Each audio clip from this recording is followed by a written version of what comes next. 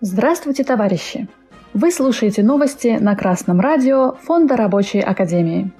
Сегодня в программе 3000 иностранных компаний приостановили деятельность на территории Российской Федерации. Рабочие московской нефтегазовой компании добились погашения долга по зарплате в 90 миллионов рублей. По данным Федеральной службы по труду и занятости, с 1 марта по 1 июля в России приостановили работу 3000 организаций, сообщает газета «Известия». 527 иностранных компаний ликвидировано, Численность сотрудников, которые находятся в простое, выросла с 39 тысяч человек на 1 марта до 125 500 человек на 1 июля. Практически столько же работников обратилось в Роструд за защитой своих прав, но на иностранных работодателей пожаловались только 483 работника – в правительстве уже прогнозировали, что по итогам третьего квартала в Российской Федерации до 200 тысяч человек могут потерять работу. В Министерстве труда сообщили, что всего в Российской Федерации почти 3 миллиона 600 тысяч работодателей.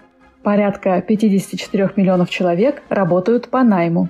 В ведомстве перечислили меры поддержки занятости. Например, тем, кто потерял постоянную работу, предлагают временные варианты, так называемые общественные работы, которые оплачивают параллельно с пособием по безработице. Такой поддержкой воспользовалось почти 65 тысяч человек. Работает программа бесплатного переобучения. Новые знания уже получает почти 98 тысяч человек, а завершила курсы более 51 тысячи человек. Кроме того, внедряется практика временного перевода сотрудника от одного работодателя к другому – Центры занятости и трудовые инспекции начинают работу над временным переводом сразу после того, как получают первые сигналы о переходе человека в режим неполной занятости или его возможном сокращении. Красное радио Фонда Рабочей Академии напоминает, что именно рабочие наиболее заинтересованы в уменьшении безработицы.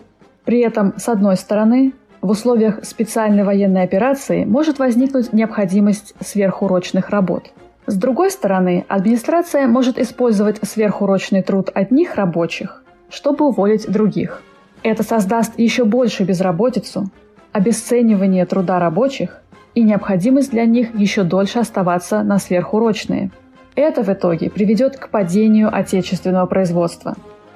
Чтобы не допустить этого, рабочие должны бороться, во-первых, за обязательное согласование сверхурочных работ с трудовыми коллективами. Во-вторых, за дополнительную оплату сверхурочных работ. Более подробное разъяснение читайте на сайте Рабочей партии России в заявлении Центрального комитета о намечаемых мерах правительства по вопросам обеспечения вооруженных сил Российской Федерации в современных условиях. 680 работникам московской компании ВПТ «Нефтемаш» выплачены долги по заработной плате общей суммой более 90 миллионов рублей. Компания занимается поставкой и сервисным обслуживанием бурового оборудования, осуществляет разработку месторождений.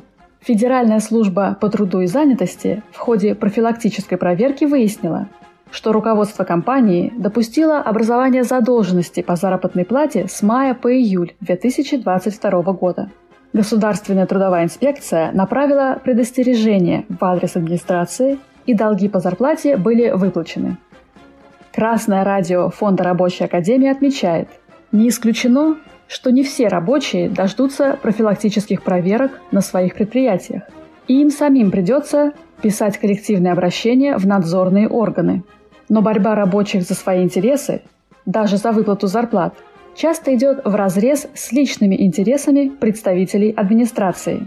Поэтому руководство в ответ на попытки рабочих предпринять коллективные действия часто прибегает к индивидуальному запугиванию и обману.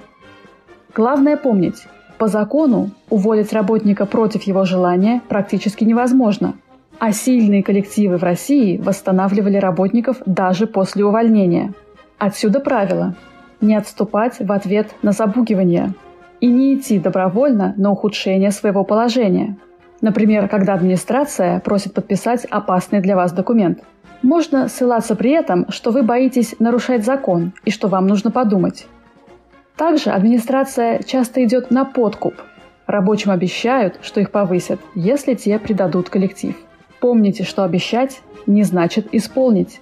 И таких обещаний раздать можно много, а вот повысить всех не удастся.